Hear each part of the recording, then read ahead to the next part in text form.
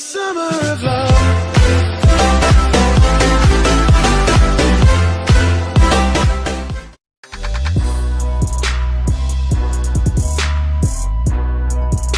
What's up guys, Sal here. So Samsung revealed at this year's Qualcomm 5G Summit in Hong Kong that they'll launch their next wave of UFS 3.0 enabled devices in the first half of 2019. The Galaxy S10 wasn't mentioned, but considering that the S10 is the major Samsung phone to be launched in the first half of 2019 means the S10 most probably will have this. Samsung will launch a separate 5G model, so it's more than likely this 5G S10 will have this fast storage. The current Samsung flagships have UFS 2.1 and even though it's no slouch when it comes to read and write speeds, UFS 3.0 is gonna be the next echelon of read and write speeds and in the process takes smartphone responsiveness to the very next stage. It also consumes less power so it will be able to deliver a small increment in battery life so very excited for this.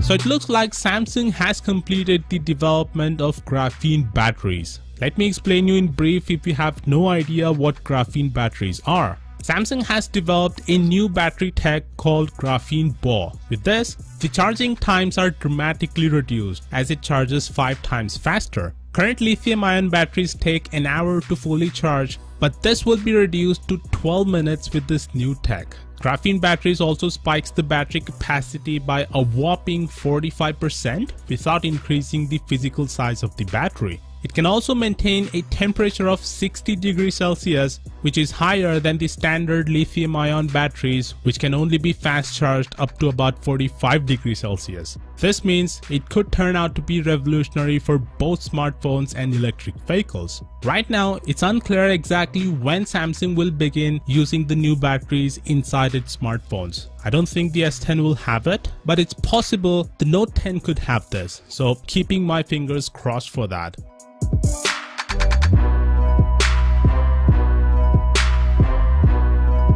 So the entry level Galaxy S10 will have a 64GB as base storage. Samsung launched the Note 9 with 128GB of internal storage, so people were asking whether that will continue with the S10 as well. I'm sure the S10 Plus and the regular S10 both will have 128GB of base storage. The entry level S10 however, as this rumor suggests, will have 64GB, which is understandable as it's an entry level model so to keep the cost down, they have to cut corners somewhere. Thank god they're not doing that with the display. We don't want Samsung to replicate what Apple did with the 10R. So